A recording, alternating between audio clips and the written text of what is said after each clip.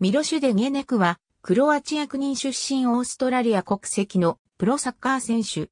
オーストラリア代表。レッドスター・ベオグラード所属。ポジションはディフェンダー。セルビア人としてクロアチアに生まれ、ユーゴスラビア紛争から逃れるため1995年にベオグラードに移住。さらに1999年にはコソボ紛争による NATO 軍の空爆から逃れるため難民としてオーストラリアへと渡った。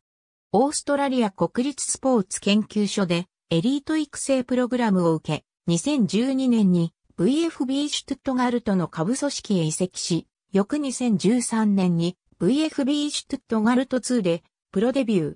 2015年からは TSV1860 ミュンヘンでプレーした。2017年1月30日、横浜 F マリノスへの移籍加入が発表された。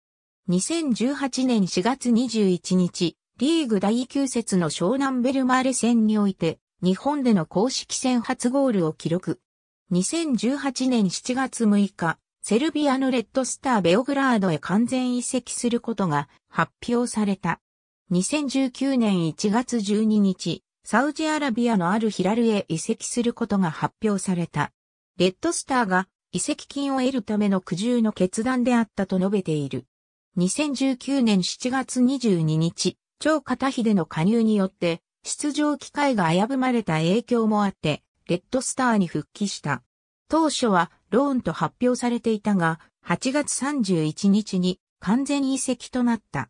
セルビアの世代別代表にも選出されていたが、後にオーストラリア代表を選択した。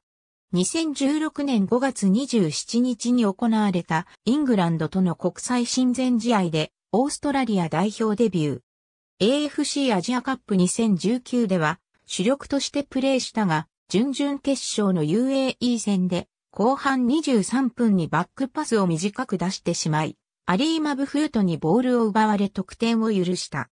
これが決勝点となりオーストラリアは敗退した。オーストラリア代表でのデゲネク。ありがとうございます。